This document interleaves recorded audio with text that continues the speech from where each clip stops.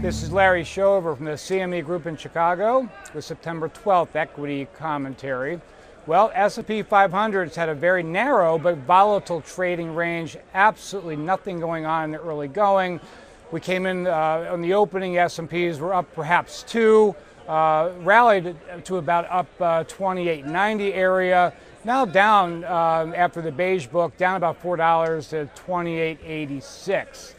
Seems like uh, before that China trade headline hit the news at about 11 a.m. Eastern time, there really was nothing going on. People waiting for the outcome of the hurricane, waiting for CPI number tomorrow, etc.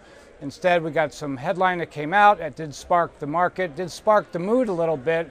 Although before that time, there was a lot of like downward, uh, you know, emotional numbers coming out overnight, with especially with Europe um, Australia, although Korean uh, unemployment number did come out pretty well. That said, there continues to be very thinning leadership and it's troubling a lot of people. The bulls out there continue to think that um, the S&P 500 is trading at a very cheap valuation. That might be so compared to bonds, but still trading. The S&P 500 is still trading in the 82nd percentile compared to history. Uh, PPI number did nothing today to alter the narrative, although that number was not very uh, encouraging with regards to inflation.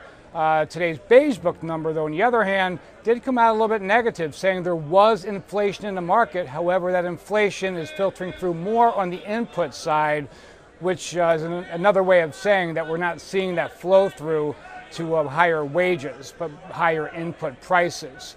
Uh, also, uh, the Beige Book made note that um, there were certain companies that they were noticing that were not or were tailing back on their expansion plans due to trade tensions. Again, that did hit the market about four points, but other than that, um, it's been a very, very slow day. Looking for the ECB comments tomorrow, also more headlines from China, and also CPI, which will hit uh, tomorrow uh, in the morning. I'm Larry Shover from the CME Group in Chicago with September 12th uh, equity commentary.